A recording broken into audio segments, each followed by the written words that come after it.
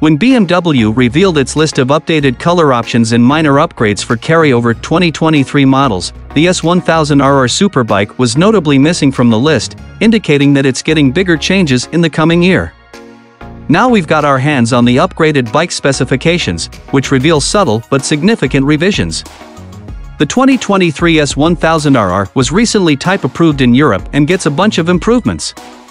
These largely take cues from the more expensive M1000RR homologation special, and will give a taste of that bike to the masses at a more affordable price.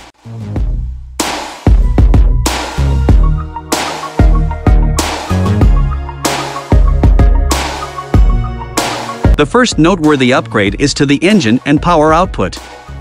The 2022 S1000RR makes a claimed 204 horsepower in European trim, hitting that mark at 13,500 RPM, while the M1000RR is good for 209 horsepower at 14,500 RPM. The US models are slightly different, with both the S and M bikes managing 202.5 horsepower at 13,000 RPM. Documentation shows that the 2023 S1000RR, in Europe at least, will split the power difference between the current S1000RR and M1000RR with a claimed 206.5 horsepower at 13,750 RPM.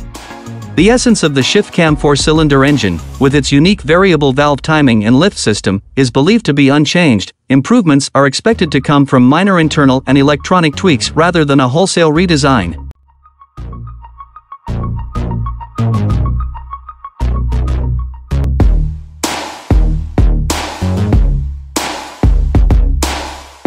Whether the US spec bikes get the same small power increase is yet to be seen. Even without it, the 2023 S1000RR will feel quicker than the current bike because it is set to inherit the same lower final drive ratio used on the M1000RR. By using a 46-tooth rear sprocket instead of the standard S1000RR's 45-tooth version, the M bike's gearing is reduced to boost its acceleration. We know the same also applies to the 2023 S1000RR, as its listed top speed in European form is reduced from 190 miles per hour to 188 miles per hour despite its additional power. Additionally, its wheelbase increases from 56.7 inches to 57.4 inches, the same as the M1000RR. There's no change in the 2023 S1000RR's weight, which remains at 434 pounds including a full tank of fuel, so in that respect the carbon-clad, 423-pound M version will retain an edge. However, the 2023 S1000RR will incorporate aerodynamic lessons learned from the M version, gaining winglets on the nose in keeping with the current superbike trends. On the M1000RR, the wings add a claimed 35.9 pounds of downforce at 189 miles per hour. The 2023 S1000RR's wings are likely to be a bit smaller, and plastic rather than carbon fiber, reducing the overall level of downforce. They'll still have a genuine impact on the bike's stability.